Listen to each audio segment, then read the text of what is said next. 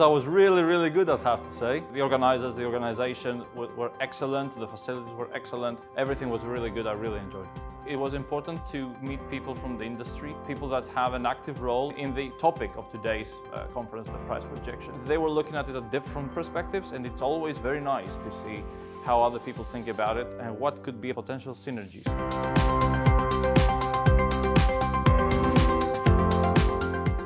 It's been quite good to have uh, like different points of view from either utilities or data providers or companies giving advisory to companies investing in long term. So we've tackled power price forecasting in different time horizons, which I think it's quite relevant.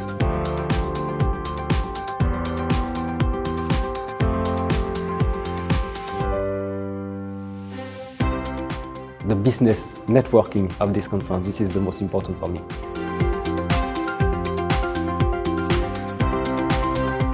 The networking was simply great. Also meeting representatives of your sponsors is a good experience because you can exchange information. You actually meet in person colleagues, representatives with whom you may only communicate by email or by phone. So when you have a chance to meet in person, I believe the opportunity to find uh, cooperative opportunities is even higher. That's why networking is always important. I talked to so many different people.